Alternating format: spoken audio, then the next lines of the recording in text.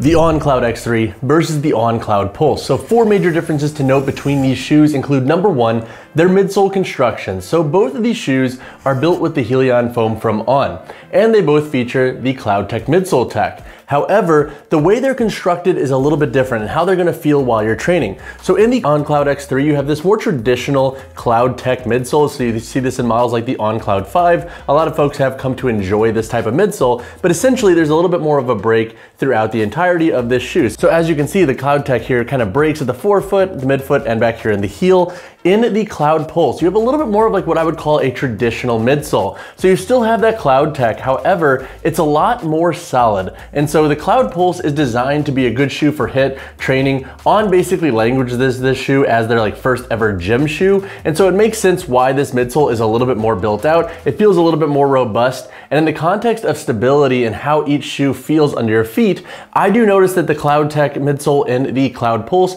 has a little bit more of like a responsive bounce to it Whereas in the Cloud X3, I feel like you could feel the ground a tiny bit more. And do note when I say feel the ground, it's not as much as a barefoot shoe, but it's a little bit more in the context between these two shoes.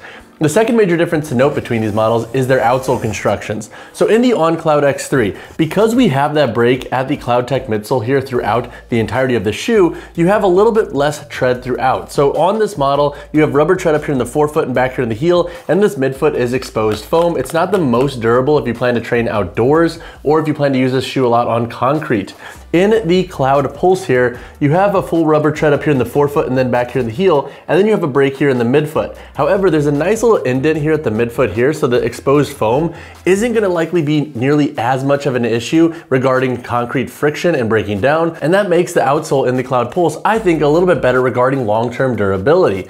The third major difference to note between these shoes is their upper constructions. So in the Cloud X3, you have a reinforced three layer mesh here. And now this upper is a little bit more low profile. So this shoe, I think, hugs the foot a tiny bit more, feels a little bit more sock-like compared to the Cloud Pulse. Back here on the boot, it's a little bit more rigid regarding its construction as well. So the midfoot here can be a little bit annoying when you're breaking the shoe in, but overall this mesh breathes really well. It's very lightweight and it sits a little bit lower compared to the Cloud Pulse. In the Cloud Pulse, you have a reinforced mesh upper with some synthetic overlays around the forefoot, midfoot, and then back here in the heel. The heel's a little bit more built out and it's padded, and it's a little bit more high volume. So if you like having a bit more room in your upper, this can be a good option to look into compared to the Cloud X3. The fourth major difference to note between these shoes is how they're going to perform. So in the Cloud Pulse, you're gonna have a little bit more of a bias towards light strength training and HIIT workouts and more like your class style workouts. This shoe I think has done a pretty good job supporting my multi-directional movements, giving me a nice level of responsiveness and energy return. And if you like a little bit more of like robust built out shoes regarding their midsole constructions, the Cloud Pulse is going to be the best option for you. In the Cloud X3, it's kind of like this hybrid do it all style shoe. It's not as much of a daily driver as the Cloud 5, but you can train in this model. So for this shoe, you're not gonna have nearly as much lateral support. However, I think the CloudTec midsole is a tiny bit more stable compared to the Cloud Pulse. And do note I say tiny there because I think the only difference between the stability, because both these shoes do compress pretty easily, is in the Cloud Pulse, you have a higher stack height. So I think you do notice that rock a little bit more. And because it's more of a HIIT shoe, you have a bit more toe spring compared to the Cloud X3, relatively speaking, when you're trying to ground the feet when training. So all that said, the Cloud X3 I think will be a good option for somebody who wants that shoe for travel, some daily wear, some lifting, and some cross training. And then if you want that shoe for HIIT workouts and classes, the Cloud Pulse will be your best bet. And then if you need a shoe for short runs, I think both of these models can work. The Cloud Pulse is gonna give you a slightly more plush ride compared to the Cloud X3 though. All right, so now let's talk about some performance differences between these shoes. So which model is gonna be better for lifting? So Neither of these shoes is gonna be great for heavy lifting. However, if you just need one of these models for light to moderate lifting, both can work. Now that said, I think that you can load the Cloud X3 a tiny bit heavier, and I think that's solely because there's less stack height in this shoe. Both of these midsoles are gonna compress fairly easily when you start loading. So for example, with deadlifts in these shoes, anything over like 275 pounds, I start to notice the midsole compress.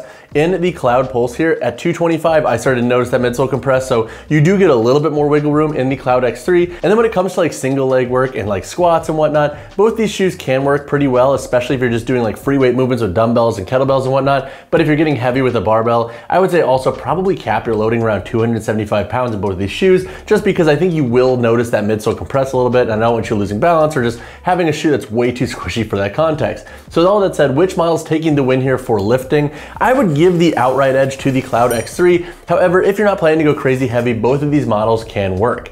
Now, which model is better for versatile training? That's where I'm gonna give the edge to the Cloud Pulse. This model gives you a little bit more support regarding its lateral structure. You have this reinforced lateral layer here. With the increased upper volume, you also have a bit more space in the shoe regarding giving your feet a little bit more room to do their thing. So if you do have a higher instep, for example, I think the Cloud Pulse will feel pretty good and still give you a good amount of security. And then you also have this more padded and rigid boot back here. So in the context of versatile training, the Cloud Pulse I think just does a slightly better job across the board. You're not gonna have as much spillover issues. And with this model's midsole and speedboard tech and outsole, I think it does a little bit better across the board too for things like sled pushes and pulls on turf, kettlebell workouts, full body circuits and stuff like that. And if you like models like the Nike Air Zoom TR1 or the Puma Power Nitro Squared, this model is gonna be, feel very similar in the context of giving you that built out midsole. The Cloud X3 can work for cross training and versatile workouts as well. My only two knocks against this shoe for versatile training, and these have always been consistent with this model for whatever reason, is they're not gonna be the best for lateral movements, especially power focused lateral movements. So skater strides or any form of like get up where you're really digging into into that forefoot and driving through laterally. You can have a little bit of spillover here because we don't have a super rigid lateral support here. And then also this CloudTec midsole can kind of compress and you could spill over as well. And then also the second reason why I don't necessarily always love this shoe for versatile training is the break-in process can be a pain up here. So at the midfoot, this can rub when you're breaking this shoe in. This typically subsides as you get a little bit more wear in the shoe, but it is one of those annoying things that the Cloud Pulse I have yet to have an issue with. Now, which model is best for short runs? Both these shoes have worked worked exceptionally well for short runs. So both these models, I think you could run like two, three, four-ish miles in and honestly have them be pretty dang comfortable. Now that said, if I had to give the edge to one of these shoes, I would say it really depends on what you want out of your ride. So in the Cloud X3, I think you're gonna get a little bit more of like a stable or denser ride. You're still gonna have some cushion. That's why I do like the Cloud X3 for hybrid style workouts, but you're gonna have a little bit more of ground feel in this shoe compared to the Cloud Pulse, which has a higher stack height and a more built out foam midsole. Plus you do have a little bit of heel beveling in here and toe spring. So if you're doing, for example, interval runs in a class, that's where the Cloud Pulse I think is gonna excel. And if you just like more structure to your training shoes for your short runs, the Cloud Pulse can also excel in that context. Now, which model is better for daily wear? That's where I'm gonna give the edge to the Cloud X3. Don't get me wrong, the Cloud Pulse is very comfortable. However, I feel like the shoe's a little bit tougher to dress up at times. And with its more built out midsole, it just feels a little bit more clunky for daily wear context. Whereas with the Cloud X3, this is a model that I often like kind of describe as like that travel style shoe. It looks pretty good. It's a little bit more low profile and it's comfortable for walking or standing for longer durations of time. And because you get a little bit more flexibility through this model's outsole and midsole, I think it makes it a little bit easier to just wear this model and have it articulate with the foot and not necessarily have it feel overbearing over time. So in the context of the price between these shoes, you can expect to pay $150 in both of these models. Now, is that price point fair? I think it really comes down to how you plan to use your shoes. If you want to do it all shoe that you can also travel with, the Cloud X3 I think can be a great option. And then if you want a more class focused shoe with a bit more responsiveness and structure to the midsole, that's where the Cloud Pulse can be a really good call. Now, do I think these shoes are top performers in the gym compared to all the trainers I've reviewed? No, not necessarily. And I do have a video documenting some of my favorite cross training shoes. So if you're not necessarily sold on the on models, I think there are better options out there depending on what you're looking for. But 150 for both of these shoes shoes, and that's pretty standard for more premium training shoes in this day and age. So when it comes to the sizing and fit of the Cloud X3 and the Cloud Pulse, I think most folks should be safe going true to size into these models. The lengths are pretty consistent, and in both of these shoes, I wear a size 10. I have a foot width that hovers between like an E width and double E width foot depending on the company and its sizing chart, and I also have like a normal arch and a normal instep. With the Cloud X3, I do notice the arch a little bit more in this model, and I think the toe box is a tad more tapered. So if you like a flatter feeling shoe, or if you have a wider shoe, that would be something to consider with the Cloud X3. It's not necessarily the widest shoe on the market. In the Cloud Pulse, because we have a higher upper volume, I think this model will be a little bit better for thicker feet and higher insteps. And then also, you have a bit of arch in this shoe, but I think because the midsole does compress super easy here, you don't feel it as abruptly. And then also the toe box feels a little bit more spacious, and I think that has to do with the wider platform of the shoe's midsole and outsole and the higher upper volume.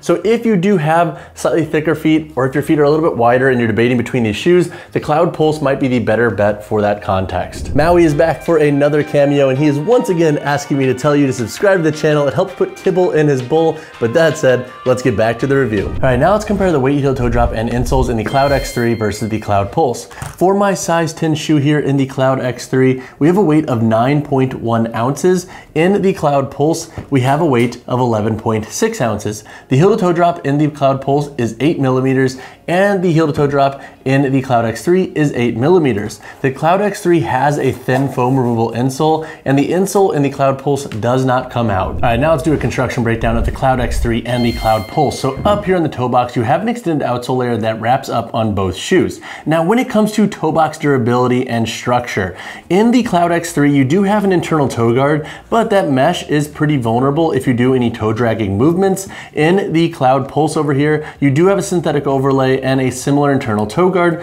which makes this shoe have a bit more rigidity through the toe box. And you also have this lateral overlay here to give you an additional sidewall when doing lateral training. Looking at the upper in the Cloud Pulse, you have a reinforced mesh upper that runs throughout the entirety of this shoe. Again, you have that synthetic overlay here around the toe box, and then on the midfoot here on the medial and lateral side. And then back here in the boot, you also have a bit more structure and padding to it. Looking at the Cloud X3, you have a three layer mesh, you have that X lacing system down here, and this mesh is pretty consistent throughout until you get to the synthetic overlay at the midfoot on the lateral and medial side. The boot in the Cloud X3 is a little bit more low profile and it has a bit of structure, but there isn't nearly as much padding to it. That's why this midfoot here can rub a little bit on the foot. Looking at the tongue and lacing system, in the Cloud X3 you have a padded mesh tongue. This tongue also can be a little bit aggressive at times. And then looking at the laces, you have one, two, three, four, five laces that go down and the tongue has a gusset to it. Tongue security in the shoe can be a little bit of an issue if you wear them looser and you're doing lateral work, so keep that in mind if you plan to do explosive work in the Cloud X3. Looking at the Cloud Pulse, you have a much more thin mesh tongue. It's similar to tongues like used in the Nike Metcon 4, so that very thin material. It's not as wide as the Cloud X3's tongue as well,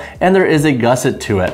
Looking at the laces, you have one, two, three, four, five core eyelets that go up with a six back here for lace lock, and then you have two additional tongue loops here for security. I find the tongue security in the Cloud Pulse to be a little bit better overall compared to the Cloud X3.